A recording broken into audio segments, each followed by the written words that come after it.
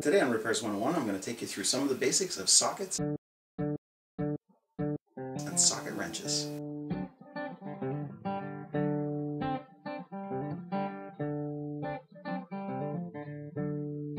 If you work as a mechanic, you'll find that most of the hardware you deal with comes in the form of hexagonal or hex cap screws and or nuts. And of course there's exceptions like stove bolts and Allen screws and butterfly nuts, but by and large most of the hardware that you can encounter as a mechanic will be in fact in this hexagonal shape. Sockets come in 6 point and 12 point, which are of course hexagonal and double hexagonal. Black, which is a heat treated impact socket with very thick walls as compared to the silver version, which will just have, you know, a finished metal surface such as chrome or otherwise polished metal. It'll be a thinner and lighter socket for use with hand tools, as opposed to the impact sockets are used with impact guns, with impact wrenches.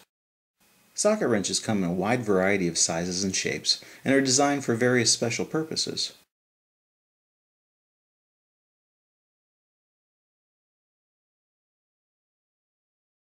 Quarter inch drive wrenches are so called because their square drives measure one quarter inch across. They're used extensively by people in small engine repairs and component repairs, and you'll find a decent variety of the basics like extensions and universals, socket drivers. You can also use them as drivers for specialty bits like these tamper-proof bits with the quarter inch hex drive on them. But honestly, as a heavy duty mechanic, I mostly only use this guy right here with a 5 16 deep socket on it for tightening hose clamps. I get a lot more use out of my 3 8 drive kit, and I imagine most people do, and that's why there's such a wide variety of adapters and specialty tools available.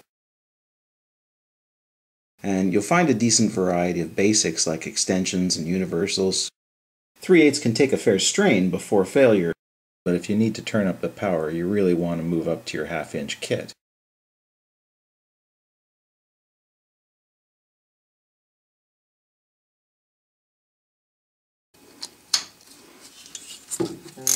I get an awful lot of use out of this fella. It does seem to be more specialty tools and adapters available for half inch drive even than 3 8 drive. And really what kind of specialty drives and specialty tools that you're going to carry will all depend on the kind of equipment that you work on. Now it goes without saying that your 3 quarter inch kit is going to be very expensive, so you're only going to buy that if you absolutely have to if you're working in the heavy duty field. And so you're only going to be able to find very basic items for your 3 quarter inch kit like extensions and breaker bars and deep sockets.